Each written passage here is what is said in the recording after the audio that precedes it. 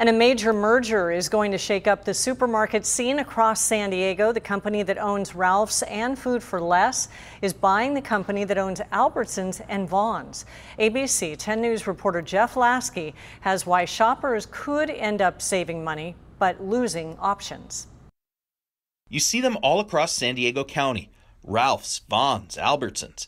Different names, but soon they'll all have the same owner. Friday, Kroger announced it's buying Albertsons, creating the biggest supermarket chain in the country. Kroger's goal is to compete with Walmart, which has been growing its share of the grocery customer base. Industry expert and San Diego State professor Miro Copic says that's going to give shoppers some benefits. They're going to see about $2 billion in cost savings uh, out of this merger. And where they're going to put it half a billion is going to go to lowering prices. But there could be a downside. Copic says the federal regulators who will have to approve the deal will likely force Kroger to sell hundreds of stores around the country. There's a good chance at least a handful will be in San Diego.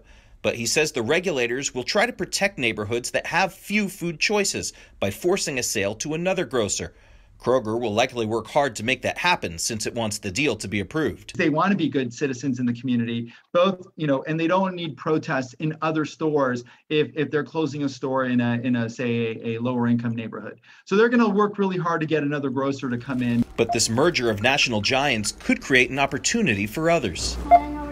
I popped into the Barons Market in North Park, one of their nine locations.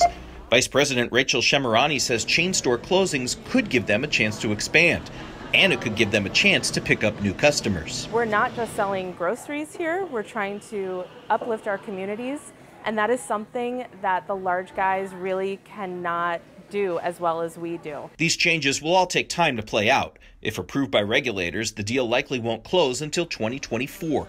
In North Park, Jeff Lasky, ABC 10 News. Copic says he thinks locally, Stater Brothers, Trader Joe's, and Aldi could try to take over locations that Kroger is forced to sell.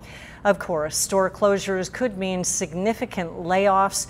Copic says the companies usually offer to transfer employees to other locations, and the new store often tries to hire as many of the old employees as possible.